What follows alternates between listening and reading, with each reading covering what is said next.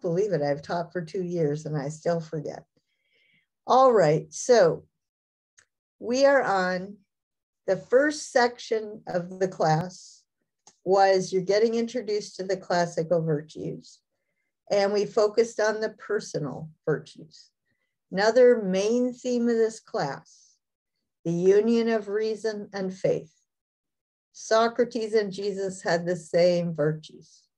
One of them in the name of a certain religious tradition, the other one in the name of natural reason and natural wisdom.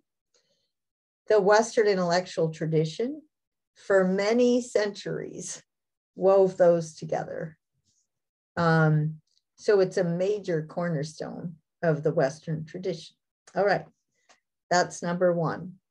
Uh, we ended with some articles about depression, stress, whatever, that again link recent developments in science and social science, revenge and forgiveness, that was a social scientist, um, with religion or values.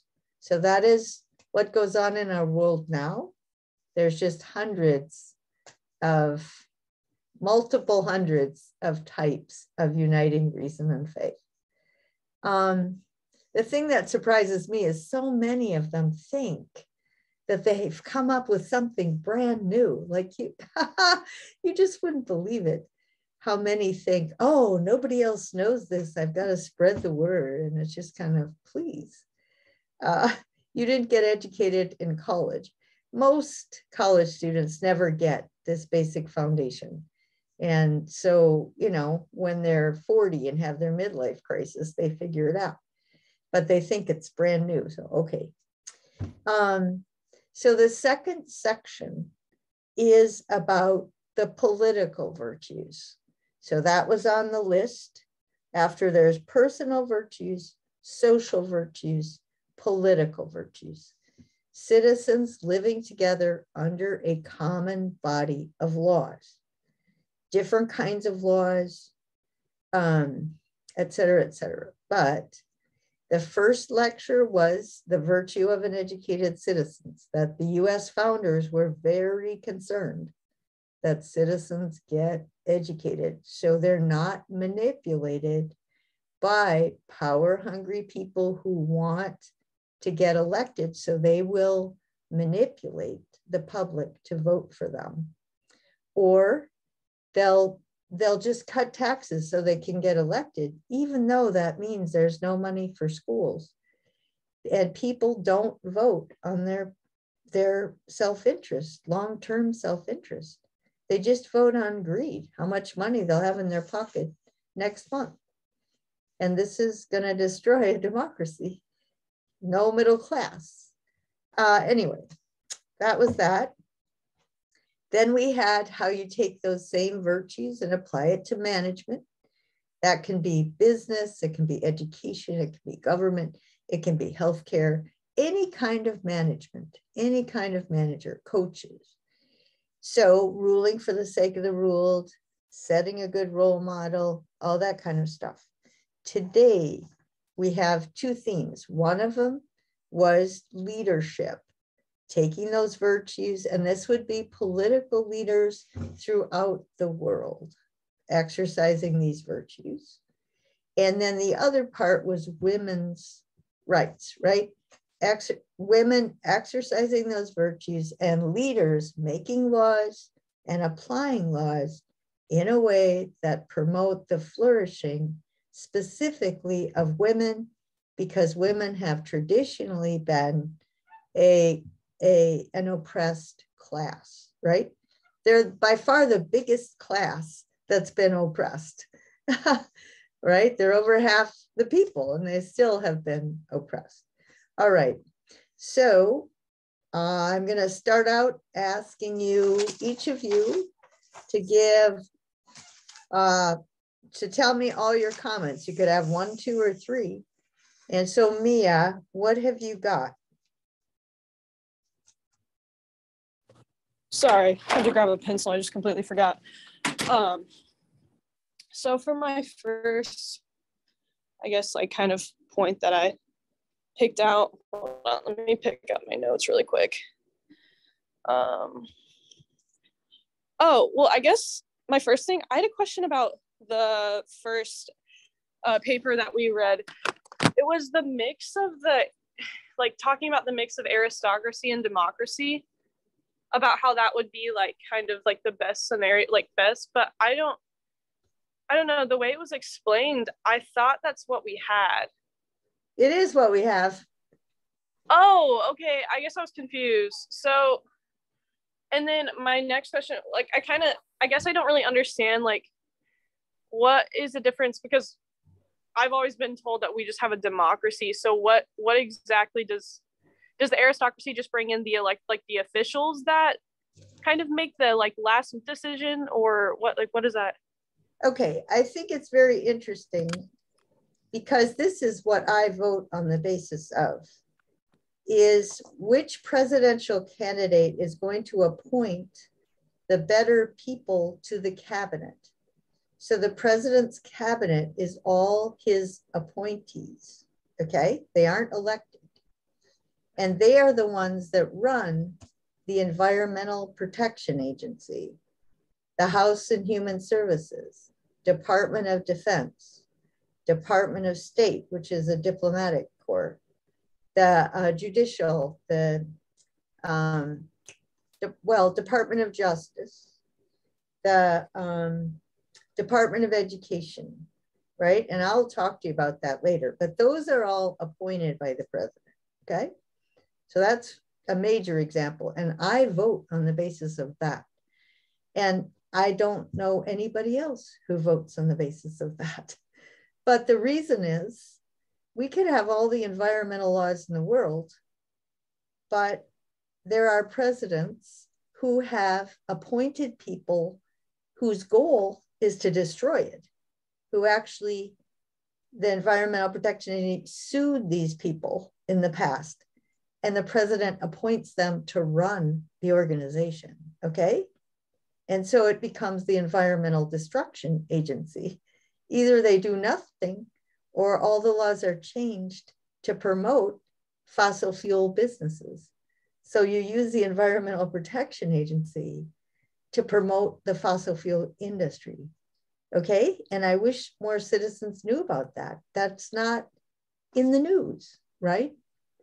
Um, Department of Education. Anyway, there are people who appoint people who have a history of being sued by these by uh, these agencies because the people broke the law. And so you appoint them to run it. yeah, really. Okay. And then there's other another presidential candidate who will appoint somebody who's really smart, really motivated, dedicated to promoting a middle class, really informed, knows who to who to hire beneath them create this whole collective mind of experts on this area, and they will do a better job for four years than people who are put on that simply because they donated to the campaign and their job is to destroy it. And I'm not exaggerating. It's just, anyway, that answers your question, Mia, right? You know, um, in theory, this the system should be best, but it's going to be abusive, used by. Oh, that sucks. Well, okay. but, but you should keep up with it, right? True. I never, I didn't know that. I didn't know about the environmental thing. Yeah, I'll talk to you about the Department of Education if we have time, because that's okay. that's the one that hits the students the hardest, right? And they know that they're affected by what the federal government does with education. But I, I don't want to talk about that at the, at the moment. Um, okay. But I, I did, I'm glad you pointed out that thing on polity. And did you, did I answer your question? Oh, yes, ma'am. I, I was just confused by exact, like, because I've always been explained to that we have a democracy, but then that made it sound like we had that. And so we do, but it's just abused. So, well, in theory, we elect uh, senators, congressmen, people, and they pass the laws. in theory, those agencies' jobs is to enforce the law, right? It's just that a president can appoint someone who will not only not enforce it, they'll undermine it. Right. Now, that isn't the problem with the way the system is organized. That's a problem with the corruption of the person running the system. Okay, so Melanie, does that make sense in relation to your paper? Yes. Yeah, okay. Um, I could explain to you why I think we need an environmental protection agency. And I mean, I could go on and on because I'm an old lady and I've been following it for 50 years, but you don't probably don't want to hear all that. Um, anyway, I think that was a good point, Mia. And one of the reasons it might have been confusing is the, the audience of that paper is international. So I wasn't specific to the United States. Does that make sense? Yes, ma'am. Okay, I think there are many governments who have a combination of elected officials and appointed officials. All of Europe has that. All the ones that we call free societies. Um, all right, that's enough, but that's a really good, important thing for students to know. Okay, Alex, what do you think? Well, from the last class I was in, we were talking about um, like corrupt politicians, and um, I've been thinking about uh, like what I learned in high school. Um, like the, there's this triangle of like uh, rhetoric that we learned from Socrates or Plato. Plato, I don't remember. It was um, logos, pathos, and uh, I forgot the other one. Well, it could be eros. It could be um, ethos. Okay. Pathos, and. Okay. One. Okay, so you're breaking up. Okay. Sorry. All right. Now it's off. Now your mic's off. Oh, so sorry. Um, so, uh, one way I've been able to navigate through like understanding my place in um, politics and how I understand it, um, and what I support and don't support is seeing who uses what politicians use those three um, equally. Because there are some that like overuse um, pathos, which is uh, people's emotions in their arguments, or overuse their uh, uh, ego or egos, egos, pathos, logos. Uh, it, it, it like e- or egos or, or ethos, pathos, uh, logos. Ethos is their basically their way of life. Their a way of life, or like some people. Well, my definition of it in my head was like their uh, their their position or their power over people. Um,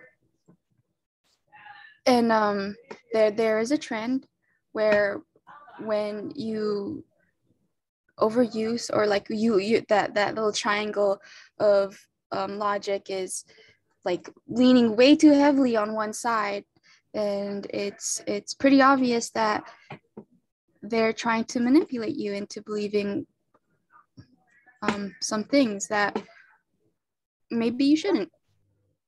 Right. Very good.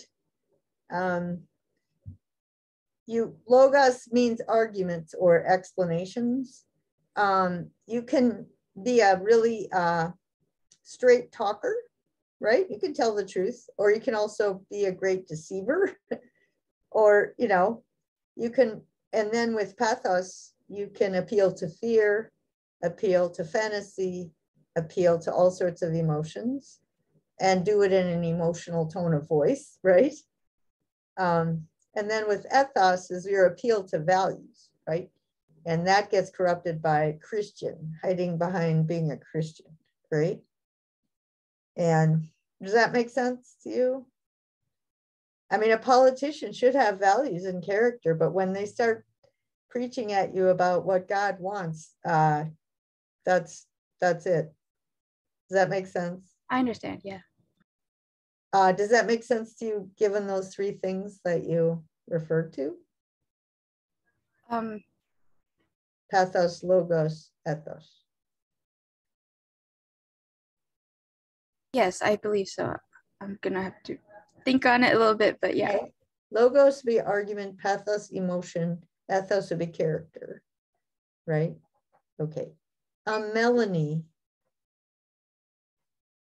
Um, I just thought it was interesting how everything was referred to as a right because like having a right doesn't necessarily mean having the freedom to do something.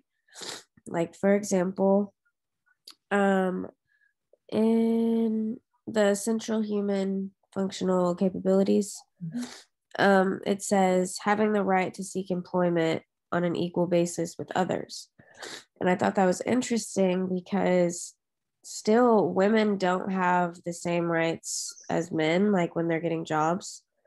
Um, even though we have the right to apply for a job that doesn't necessarily mean that the people in like the top management positions agree that women are smart enough to attain higher jobs. Right. Um, have you ever heard of the glass ceiling uh, i think we talked about it last semester women get promoted to a certain level and then you can't sit in the boardroom with the guys. Yeah. Um, I'm hoping in your generation that'll not be so true, but especially the women older than me, they kept running into it. They were the pioneers, you know, and then all of a sudden they hit this glass ceiling. It's not a brick wall because you can't see it with visually, right? It's not written into the laws. It's just you never do get that promotion right? They'll tell you you have the opportunity, and then, yeah, this other person just happened to be more qualified. Does that make sense, Melanie? Yes. Okay. All right. So let's start out. I'm going to just speak briefly about the um, international leadership one, and we will focus mostly on women's rights, especially because we have women, right? Um, but I do want to get this. Oops, sorry, I got the wrong class. Here we go. Um, the capabilities. Um, let me do, where's the outline? Well, here's the, well, here's the UN Declaration. That's the United Nations. This was after World War II. There was a huge movement to try and create international culture and to promote democracy anyway, so this one is all about rights. All right. And also, I can't, I'm not going to elaborate, but the first 21 are related to the West and their individuals' rights. Okay. Not to be subject to torture, to get equal employment. But after that, 21, a right to um, uh, a right to a job, a right to social security. That's socialism, right? A right to health care, a right to um, employment, right? And that was so this document was written during the Cold War, where it was socialism versus capitalism, right? And they did try to synthesize it. So every country in the whole world actually except maybe North Korea, has regulated capitalism. I mean, even China allows for capitalism. They just have a heck of a lot of regulations. So, but they don't call it that. It's so funny because in the US, we call it, you know, regulated capitalism. If you're honest, you do. If you're a politician, you don't make that distinction because you want people to demonize the opposite, right? Oh, those radical left wing socialists. Oh, those radical right wing capitalists, and whatever. But um, it's so funny because the truth is, we have the United States version of regulated capitalism. It's different than Europe. Europe has more taxes and services than we do we are the developed country with the fewest public services and the most friendly to capitalism. Um, I, we're something like the third best if you want to start a business and get rich. Well, and you know, but we're worst among the developed countries. We're in the bottom three when it comes to education and healthcare, public transportation, parks. Like, what do you guys want? Right. And um, so, I mean, Europeans aren't going to trade with us. Uh, so it really depends on what you want. On the other hand, I was in China and they called it, um, they called it socialism with a Chinese character. That meant they were going to let the capitalists in, but they didn't call it capitalism because they have to call it socialism. so it's funny because we call it capitalism with an American character, which means, yeah, and we have Social Security and, you know, and but you have to call it capitalism whereas in china you have to call it socialism but you let the capitalists in. So i i think that was really funny and that's why i like to travel. Like you can't read about all this stuff. Um, so the declaration focused on rights. The united nations capabilities focused on capabilities. You might have a right to uh, bodily health but you're not capable of being healthy, right? You don't have any health care. so that's a big issue in our country. You might have a right to um, uh, uh, decide who you're going to marry. But as a matter of fact, you don't have the capability to decide that. Um, because in the village you live in, if you don't accept the person your parents choose, uh, you're you're going to get booted out of the house and you'll have nothing. So the capabilities approach is what actually is happening boots on the ground, as opposed to in principle, you have a right. Um, and then, uh, okay, so the, the capabilities, anyway, I, I didn't, I must not have put the outline there. So let's just do the, the women's, the paper on women and I will, I'll put up the outline and you all can tell, react, right? So the paper starts out with the capabilities. And then it says, Mary Wollstonecraft. Um, so Melanie has read, has read this before. And so I'm gonna have Nia and Alex respond first. And then Melanie, you can ask them questions or you can point out this time, reading it over this time, you notice some different things.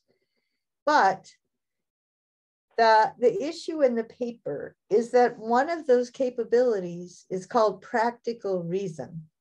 The capability, number F, to form a conception of the good and to engage in reflection, planning your life to achieve your idea of the good.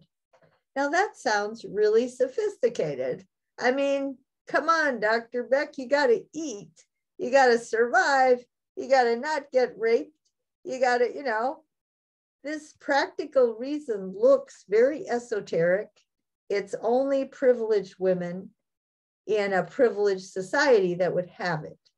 So, my claim is that the way a society is structured is based on that idea. And when women the idea of practical reason was that women were not by nature capable of full humanity because they didn't have those high, highest order capacities to think theoretically. Their natural place was in the home. And so Mary Wollstonecraft, years and years ago, um, what, 200 years ago? Almost 200, 100 70, um, said that when you deny women equal intellectual capacity, when you deny them complete use of their reason, you justify all the other kinds of discrimination. Okay? How does that happen? And and also that it's a contradiction, right? If these guys that she lived around, right? you have to be virtuous to be saved. Women have free will, they can get saved or damned, right? Um, but if you have to be virtuous to be saved and you have to use your reason to be virtuous, then there's no God who would tell you, okay, you have a free will. Uh, good luck. I'm not going to give you the power of reason to control your will. So God, you know, systematically damns every woman to hell for eternity. oh. Yeah. Okay, so that was her argument. Uh, what is reason? The ability to generalize idea, uh, ideas, to transcend immediate experiences, to develop a conception of the good, to act on that basis. Um, but if you think women aren't capable, first of all, they're all going to go to hell, and God set it up that way. Second of all, while they're on earth, you wouldn't give them an education if you the higher order education. So um, they don't have responsibility for their actions, right? Um, but you don't give them education. If you don't give them education, they don't have opportunities to participate in public life, right? They're not going to get jobs or a good job. Uh, they don't have opportunities. Then she says from childhood, girls are conditioned to be um, assumed to be impulsive, assumed to be inferior, and they just grow up that way. And they get molded that way. So she's arguing that women who uh, develop their reason are better spouses, they're better mothers, they're better citizens, they're less likely to get manipulated by uh, false uh, political rhetoric or religious rhetoric, right? And then I argue that these problems are still still exist and Nussbaum gives examples in developing countries. And um, anyway, that's a summary. So what other, what other, what reactions did you have to that, Mia? Well, my specific thing was about the marriage because whenever we were looking at it, it like, it, I don't know if it just contradicted itself, but the first thing, like, the first like line it says like friendship first over but then uh like further down it says that educated women or no something about like women uh women, like your marriage turns into friendship. So then it's like marriage then friendship. But then it starts off by like like friendship first then. So i i don't understand that. Like why is it backwards? Why is it opposite? well it probably could be either way right um, I guess. So it can start out with a friendship and then it can become passionate. But even if it's passionate, so you marry on the basis of the passion. That's why you pick the person to marry as opposed to these other friends you have. But even within a marriage, um, the passion tends to settle settle down to a habit. Does that make sense? Yes, ma'am. I, I think that does I mean is that a reasonable way to describe what uh what you think ought to happen or does happen or I mean I definitely do think that a lot of marriages happen based off of passion, but I also think that that's why like 50% of marriages end in divorce. Because like if you're only going off of passion, then you have no real connection there but that's a whole nother, I guess, conversation. I, I was just confused about that specific specific part when we were reading it because I don't know, I was just like very confused on wh- what the standpoint was there because if it's marriage first, then friendship, like what, like I guess I was confused on what was supposed supposed to happen, you know. So, like what what what would be better, I guess, like if you, especially for like the female involved like what would be better is it better for us to have like a connection first and then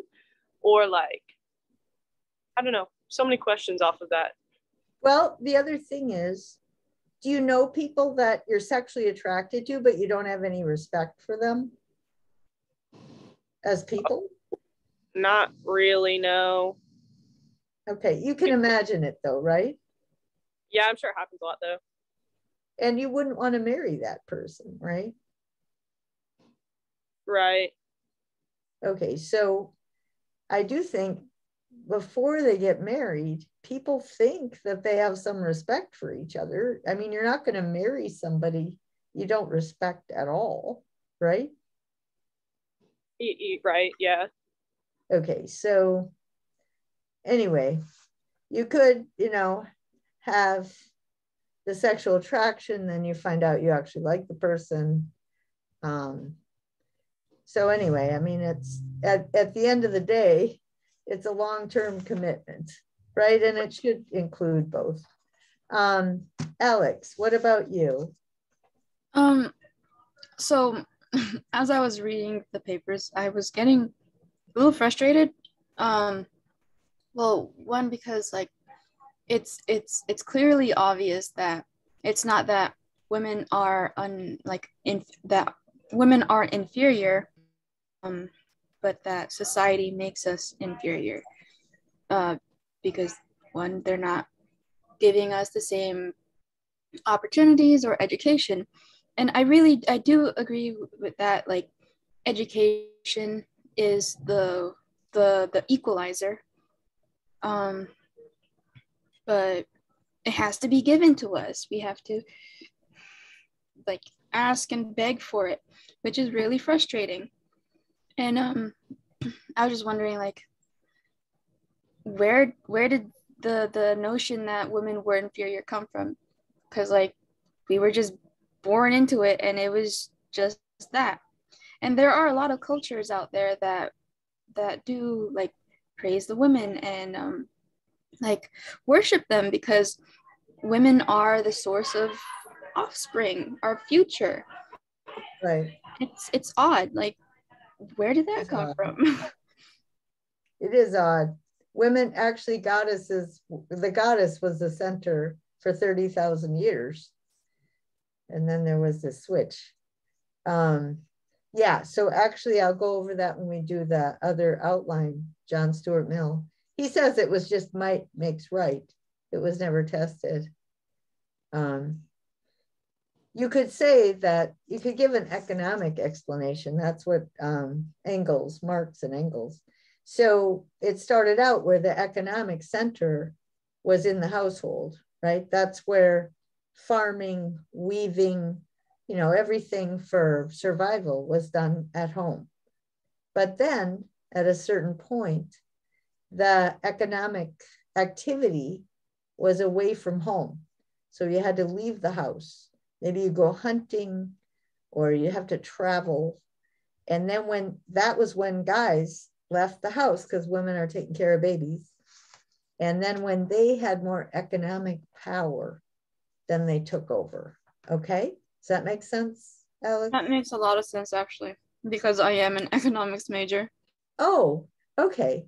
Well, I would love to, you know, if you wanted to minor in our RPH and you could write a paper about um, linking the discipline of economics with humanities, because this is a serious global problem. So would that be like anthropology? Well, it's it just synthesizes all of them, right? Um, so anthropology is a study of culture. Karl Marx just said everything called culture is just a matter of money.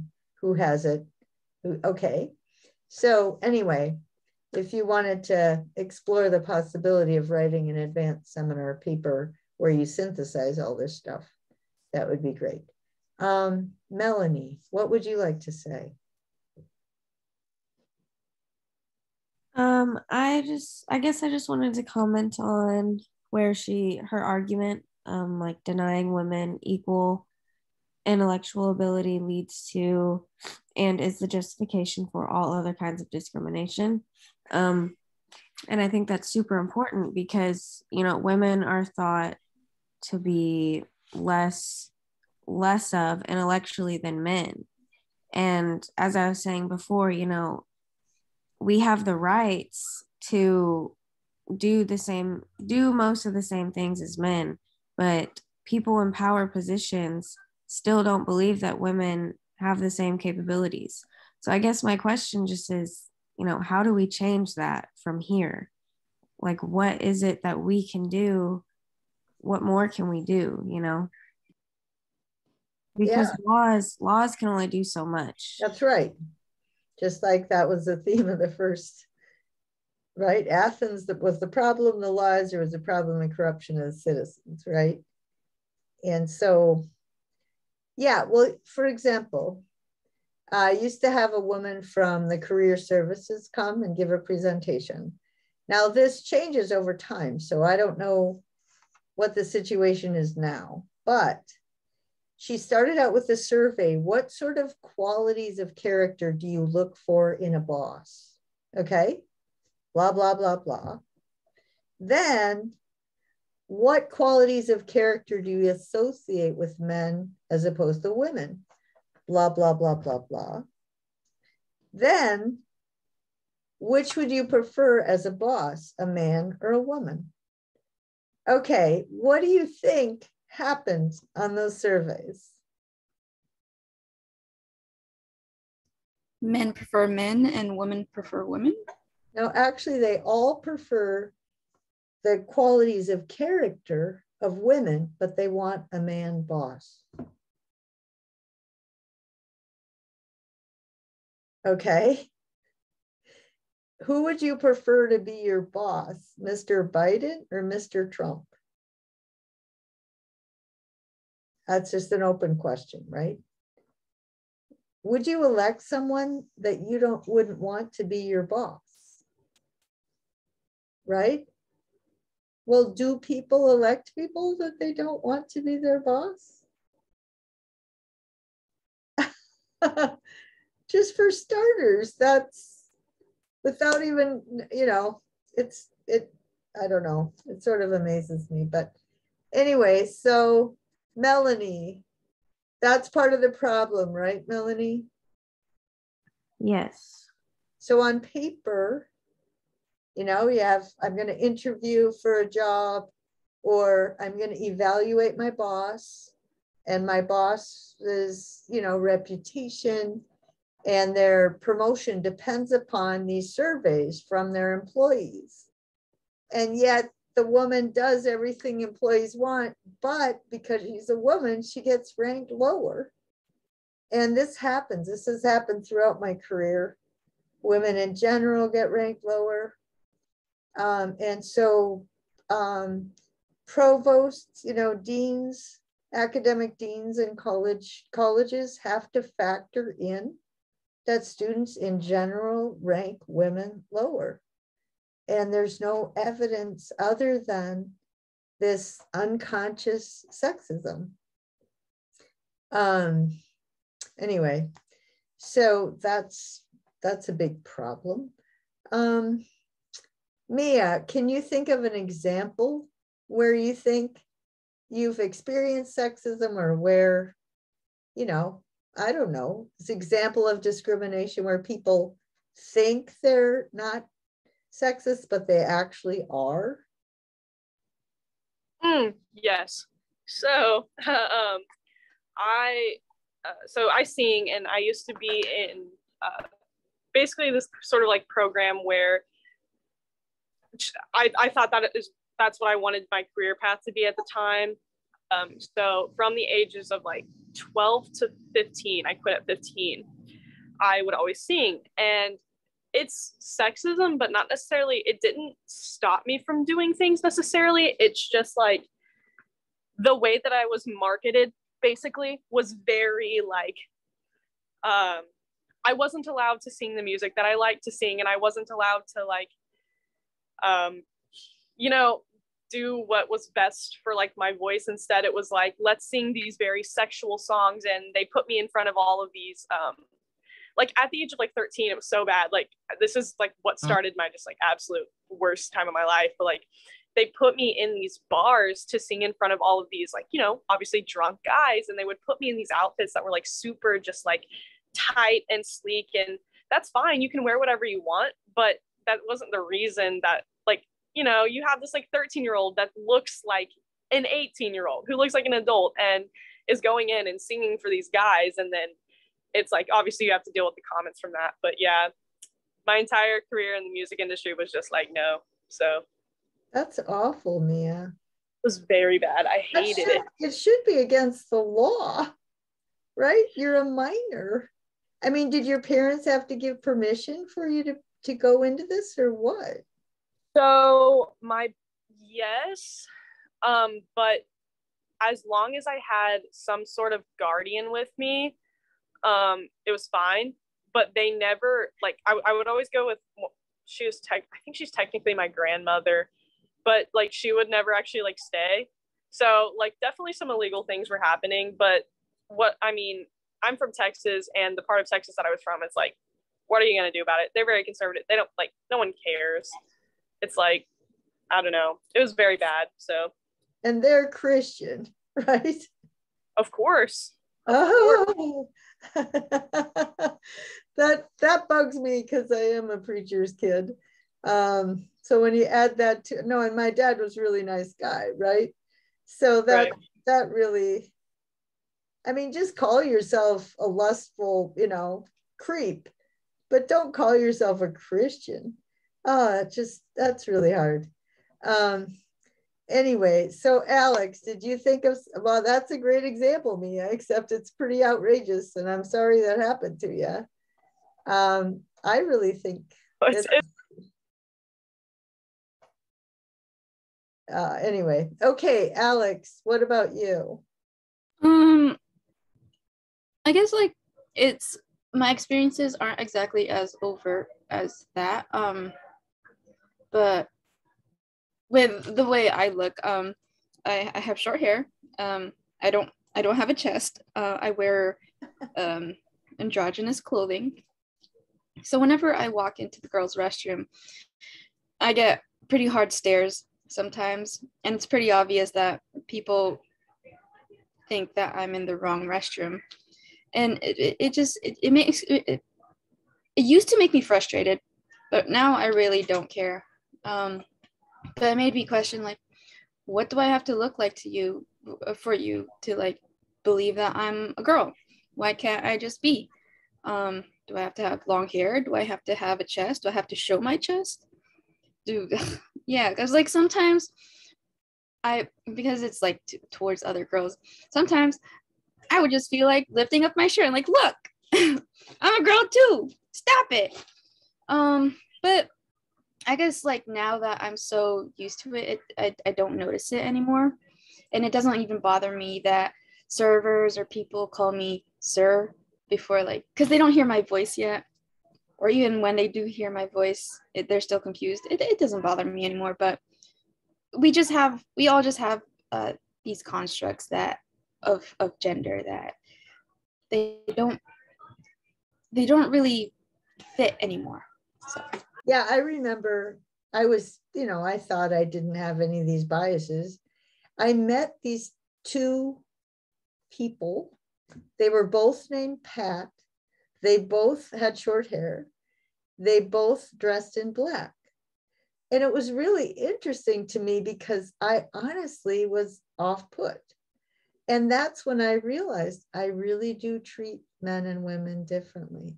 And I appreciated the fact that they just forced people to deal with them, right? That was good. Like their if their whole goal in life is just to raise people's consciousness, I thought it was great. I don't think that was their whole goal in life. I just think they like to dress in black and be named Pat and live, you know. But I think that's what they liked, but they also realized that they're doing a lot of people a favor but they'll probably get a lot of hostility. Uh, but I will not forget that. Then, um, you know, it's funny, Alex, because it wouldn't even cross my mind in your case. Um, and I wonder how much of that has to do with what's happened since 2002 when the Bush administration took uh, focus groups and decided they could win a whole election by focusing on gay issues and having a marriage amendment. And so that's when all this stuff became a huge deal. Um, George W. in 2000 part of his campaign was to be compassionate conservative. And he was saying we should have civil unions for non binary people, and then the churches can do marriage. That was part of his platform.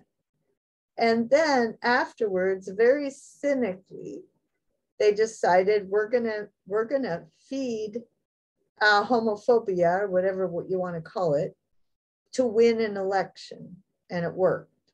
And ever since then, it's just they keep feeding the the flame because they can get votes. Uh, Laura Bush said after her husband wasn't president anymore that she thought that we should have civil unions and she didn't think Roe versus Wade should pass, should, should be overturned. But I mean, that's the cynicism of it, right? And I, you know, if if somebody can give me examples of Democrats that are that cynical, um, I would appreciate it but um, I just can't think of any. I mean, they don't bring in religion, and, then they get accused of being, you know, horrible atheists. I mean, they could play the religion card, but they won't do it. Um, anyway, I I don't know, but if a student has an example, that would be great.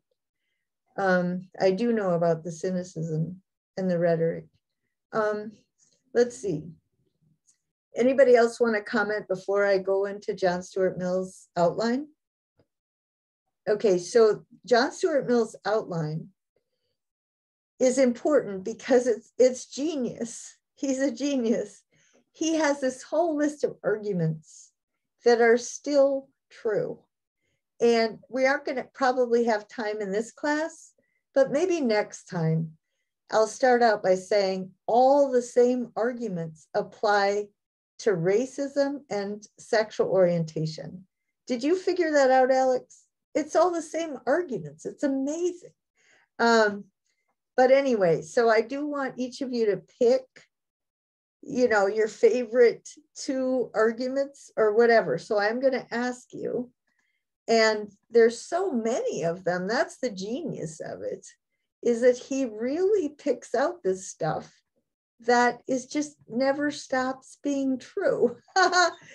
and it's incredible, really. So, okay, so he's arguing for the equal treatment of women.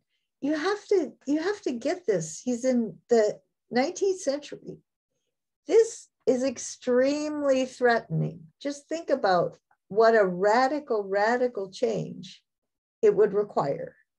Okay? Way, way, way more radical than discrimination on the basis of sexual orientation. Like, what would that undermine, right? But for women, it's huge. Why is it difficult to prove something that you haven't yet experienced? This is another thing that's genius about it is he uses the scientific method, which is supposed to start out with facts, in order, he uses scientific reasoning to prove that we should change everything so that what we see in front of our face is totally different, right? That's that takes, you know, some mental capacity there. Why is it hard to prove? Because most of the issues, because when we try to talk about it, people get emotional. Their emotions contradict reason. The power of habits and customs and prejudice we're unwilling to re examine our habits.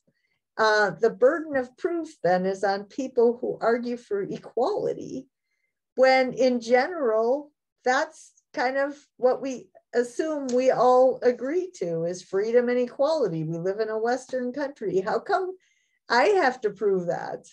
You should have to prove that women wouldn't be equal and free, right? Um, it's hard to prove a negative. How can you say everything we're doing is wrong? You have to, you know, create this vision, um, and it's hard to know. We have these romantic ideas. Oh, instinct, you know, it's the, you know, the instinct between men and women, romanticism, religion, naturalism. What's natural? It's not natural for women. It's natural for women to stay at home Religion, right? Pull out the old Bible. Okay. Why is it important to speak out? And this was Alex was male domination was never initiated after the result of thought.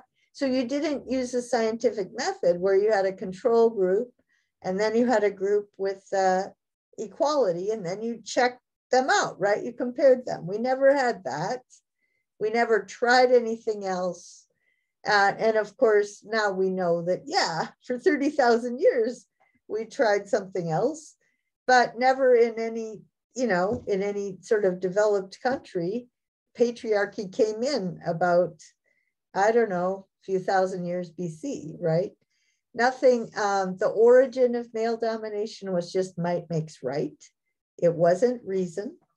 Um, it was perpetuated without any concern for social justice. So somebody has to blow the whistle and speak out. What are the counter arguments? Women accept it.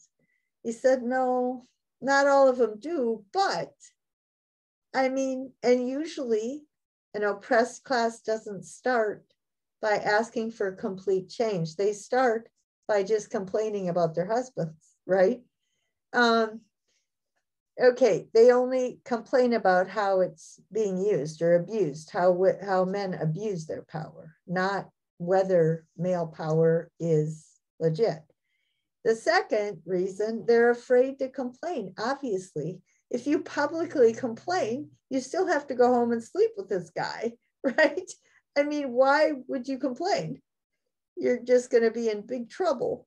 Um, in no other case is the person who's been proved to have suffered an injury put right back, you know, into intimate relations with the person.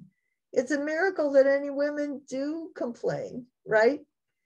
So all the causes, social and natural, combine to make it unlikely that they would ever rebel. Women don't want a forced slave. They want to, you know, they want their life, their wife to love them and they want to love her and everybody's going to get along just peachy keen. Um, as long as, you know, they stay in their place. Um, the institutions try to enslave women's minds. There's the natural attractions, very powerful. Um, so, you know, I don't know. I think um, I haven't studied the research but I'm sure this is true. When people get married, that first year, they do all sorts of adapting because they want to get along. And so all sorts of crap can happen, and you can get into some habits that are pretty dysfunctional because the natural attraction is so powerful that it's very volatile, you know, if you start questioning. Anyway, History teaches people have always held false beliefs that eventually come out. Someone has to be the messenger. In ancient societies, people's identities followed their social roles. In modern societies, we value freedom and equality. Uh, modern economies, um, we let people decide for themselves as producers and consumers. We have free market, free choice. Um, why then don't you give women freedom and equality? I mean, in general, this is what we value. Um, and the importance of free and open discussion. We've got to, eh, we've got to, you know, let the genie out of the bottle. We have to talk about this. Um, your experience cannot be evidence, right? Some guy is going to say, I've never met a woman who's interested in politics. Well, I mean, you don't give her a chance you don't educate her, you don't talk to her. I mean, how can she be interested? You, you know, you don't give her any reason to even think there's such a thing out there. And then you wonder, gee, she doesn't seem interested. It's not really natural for her to be interested. How do you know the nature of the sexes when you control things so much? Uh, women's characters are distorted, men's characters are distorted we don't really know human character because uh, socialization uh, perverts it in terms of sexism. Very few men know the characters of their own wives and daughters because Um, they don't know that the everybody's compensating, right? They aren't being themselves around each other. Sometimes they're conscious of it, sometimes they're not. They just adapt. Um, let's see. Women, okay, even it's it's hard to understand yourself, much less to understand somebody else, especially in intimate settings where you really want to get along. Um, the policies toward women are contradictory. If women really are by nature uh, naturally wives and mothers, why do you keep forcing them into it? Right? You should make that everything equal and they will just choose to be wives and mothers, no problem. Right? by forcing it, what you're saying is that, uh oh, it's not natural, right? So I have to condition them precisely because they are capable, right? So I've got to shut the door. Okay, if if you give women other options, men have to be responsible as uh, as spouses, right? But if you don't give them any other options, at least you should be a, a respectable husband. Well, that's not the way the laws work. Um, men have absolute power over women according to his legal system.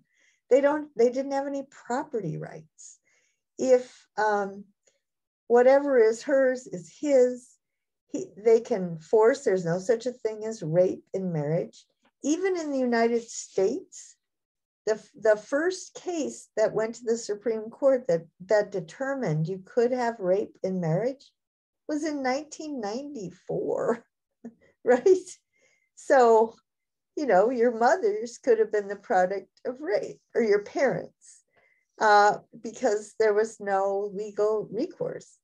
Um, children are the property of men. If women leave, they can't take any anything. Women can force, husbands can force them to return. I mean, men can be absolute dictators in their at home and in their relation to their children and their wives. And he's saying, wait a sec, we're supposed to be a free and equal, you know, open society, but within the home, we have this extreme power differential. Um, political despotism is rejected, but personal despotism is allowed, right? Um, and that just gets you in the habit of abusing power. Women, because of the situation, they can get passive aggressive. They can figure out how to punch their husband's buttons. And, you know, it's a dishonest way of life. They might be ambitious for themselves, but they can't do anything. So they're ambitious for their husbands. They push them. They, you know, force them to achieve more than the husband really is able to or wants to. Um, let's see. Family life should be based on sympathy, not despotism. Uh, but John Stuart Mill says women should have to choose between a career or a family. And we still have a legal system that makes it difficult for women to balance both. Um, the laws, the laws would not be improved unless there were people whose characters were better than the laws. Um, they have to, people who don't have any trouble because they themselves are pretty decent have to realize that these laws are allowing for evil, right? Despotism within the home. And so they're wrong, they're just bad laws um, philosophy and religion teaches self-sacrifice, but then women are the angels, right? And men, ah, uh, you know, boys will be boys. Okay, so then it's the job of intellectuals to see the future of the species and to blow the whistle to explain why we should change. It shouldn't be threatening uh, if we want to develop, if we want to flourish, we need to change. Um, and ultimately, uh, um, private happiness, right? People need to be able to live their lives as they like. Remember practical reason? Um, that's really important for people. They need that. All right, so each of you, which are your favorite arguments? Um, Melanie, which arguments did you like best? I liked the one where he says, hold on. Um, very few men know the characters, even of their own wives and daughters. Um, just because I think that's true. I think I think a lot of men don't know truly how powerful women are or like how wise women can be, that we actually are equal when it comes to being able to learn things and adapt to things. Um, so, yeah. Is it because they don't listen or because um, women feel like if they do speak, they won't? They won't be listened to, or why do you think that is? Um, I think that's how society has depicted women. Um, so it's kind of just a trend. But I think, I don't know, I think like women don't speak up enough. Um, because for me, if like if you form a bond with, like if you form trust with a man and then you try to talk to him, it's so much easier and they'll actually listen to you rather than just trying to like speak over them, I guess. I just, I, I haven't watched TV for decades, like since high school, but I can't imagine some of those shows that you would sit in your living room with your spouse and watch characters acting in such gendered ways right i mean aren't you going to imitate them or i i don't know i mean i power of TV, I have no idea. I didn't even want my kids to watch TV, so I'm out of the loop. But um, I just don't understand it, basically, why you would want to do that. Um, Alex, which arguments? Um, well, I, well, I, I like just the overall argument that we don't know what is natural. Okay. Um, I mean, I guess like a big example of it, just just like a like out of the box example, was because I have a dog right here, and when he was a puppy and he is still a puppy, I was doing a lot of research on how to train and um, um how to train a dog, and uh, a lot of dog trainers use the argument of like you have to be the alpha. In a wolf pack there's an alpha. Um, and um and it's it's it's just a wrong argument. That's it's the the guy who did the study has been spending his whole life trying to correct people in in telling them like no my my research was wrong um but yeah in, in that way like we we don't know what is natural and um our, our our, our beliefs could just one day just be flipped 180 and like maybe it's more natural it maybe it is natural for women to be the the dominant species. Yeah. Okay. All right. We've never we've never run an experiment right where here you have this and this and let's see which works better right Yes, like, like what you said earlier. Yeah, okay. All right. So what about you, Mia?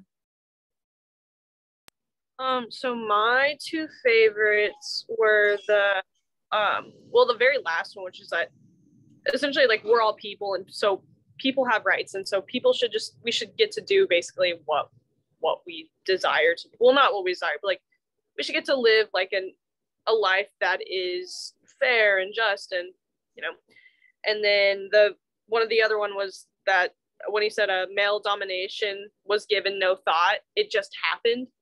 So like there's really no reason for like like why why are we putting so much thought into if we if, if that going off of that same logic like you're putting so much thought into like or no no thought at all into male domination why are we putting any thought into like female like equate equation like equality like why are we putting so much thought into like women's rights when we didn't even put any thought into like the allowance of men having every single right that they want. I don't know. I like that. That was an interesting thought. So, what about the thought that if they really are meant to be wives and mothers, just give them all the opportunities in the whole world and they won't take them? True. True. Why don't you just why? Why is that true? Because maybe they're not, you know, may, why do you keep forcing this? Because you're afraid it's a lie, right? Right. Okay. Now we have two minutes, but why don't you guys in your mind go over it? Well, actually, I'll post. I made an outline for race, an argument for treating the races equally. Why is this difficult to prove?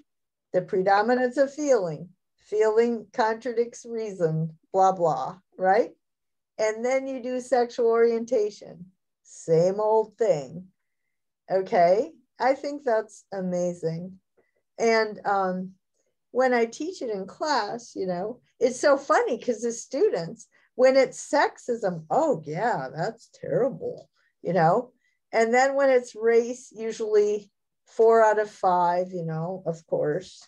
But then when it comes to sexual orientation, like, no, no, that's not true. and it just like, come on, guys.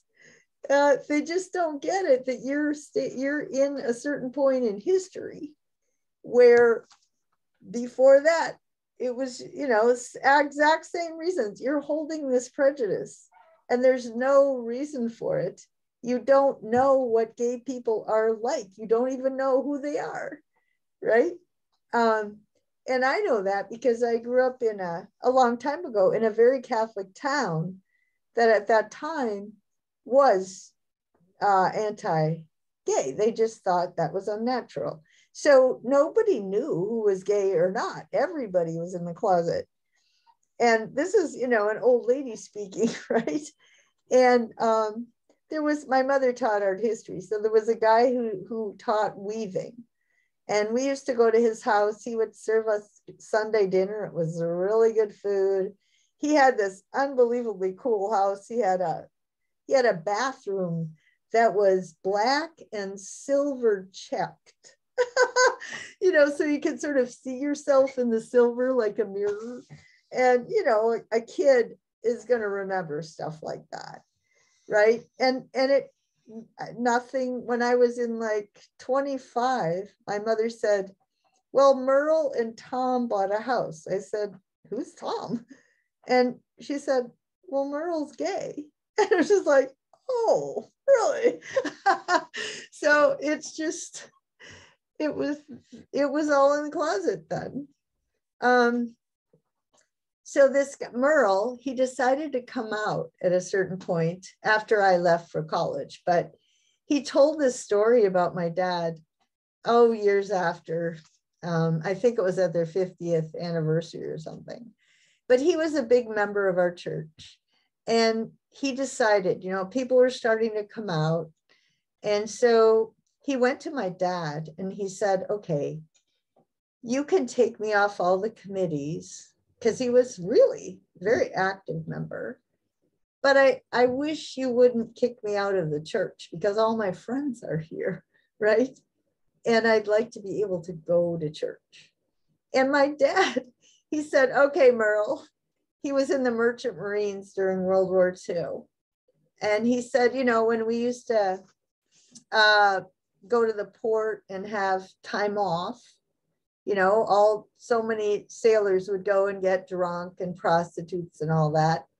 But there were also always some gay bars, you know, and the gay folk would go to the gay bar. And so he said to he said to Merle, he said, you know what, Merle? I think somebody should feel just as comfortable at church as they feel in a bar. So just forget it. Okay. And that's, I mean, you're literally making people, when you don't let gay people marry, they don't make that commitment. And so they don't, you know, then you say they're promiscuous. But Wait a sec. If you didn't make heterosexual people marry if you didn't have some socialization to make a commitment, uh, they would be pretty promiscuous too. And then how do you define promiscuous, right? Uh, it's just ridiculous, right, Alex? I mean, it just, it's so absurd. But anyway, I'll send those outlines and I would like each of you to pick like your two favorite ones with racism and your two favorite ones with sexual orientation. But just for you to get this line of reasoning through your head. And that is, that's what intellectuals are supposed to be able to see the future. I mean, I think right now it's green. We've got to go green. And people have to not be threatened by that they just have to realize this is the truth, you know. But there's, it's all, you know, people are made to feel uncomfortable, blah, blah, blah. Um, okay, so I'll let you go. And what do we have? We don't have till next week. We have five days off. If you're going to write a paper, you must meet with me. If you are behind in your posts and you want, you, first of all, you can go look at the YouTube but if you want to meet with me in office hours, uh, just let me know because I have some office hours Thursday, Friday, Saturday nights, but I am around many afternoons. I just, I'm not going to turn on the Zoom unless you ask, right? Because, I mean, I might want to go out and, you know, for COVID, take a walk or something. So I don't want to just be sitting here in case a student would do that. So just, I am very available. I want everyone to be on board. I like talking about it. It's no problem. Just let me know and let me know why you're absent and just keep the communication going. That's all I ask. Okay. All right. Have a good five days. Um, I like my students.